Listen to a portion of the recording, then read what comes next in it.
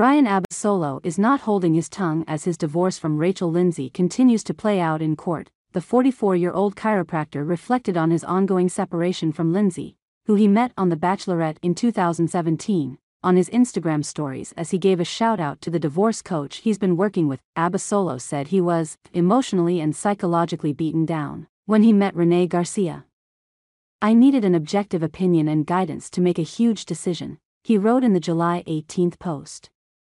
I credit at Renaissance underscore man who I now call a friend for helping me face the PR tricks and gaslighting I was warned was coming. I'm thankful. If thinking of separating, find a divorce coach so you don't make a decision by reaction, but through clarity. Abasolo filed for divorce from Lindsay, 39, after four years of marriage on January 2, citing irreconcilable differences. In a since deleted statement on Instagram, he shared that they had made the difficult decision to part ways and start anew.